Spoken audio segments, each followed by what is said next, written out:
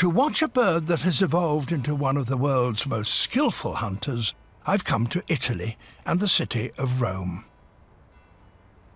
There's a bird that flies over these roofs that finds its prey not on the ground, but in the air. And it owes its success to its speed. In fact, it's said to be the fastest moving animal on Earth, the peregrine. Peregrines hunt other birds.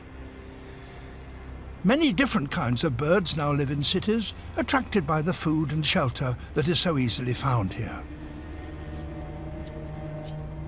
And a tall building like this is an ideal lookout for a hunter. Flying prey can move in any direction it chooses, so a hunter has to be both fast and agile if it's to get a meal. A peregrine's wings have a very special shape. They're pointed and swept back. If wings have a blunt end, air will swirl over that end, forming trails of turbulence. These act like brakes, slowing a bird down. But pointed wings shrink that edge and so reduce the turbulence. Pulling the wings back towards the body makes the bird even more streamlined.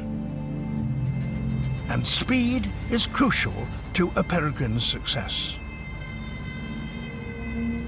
It also has acute vision that enables it to spot prey over a mile away. And for the peregrines that hunt in Rome, these birds are prime targets starlings. They too are fast flyers, and their smaller size makes them even more maneuverable. So, to catch a starling, a peregrine must be even faster. And in order to gain speed and surprise, it attacks from above. First, it climbs.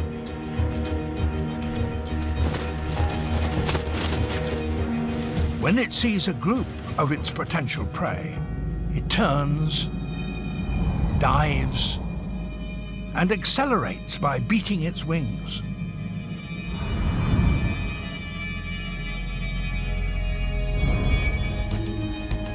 The starlings are still unaware of the danger hurtling towards them.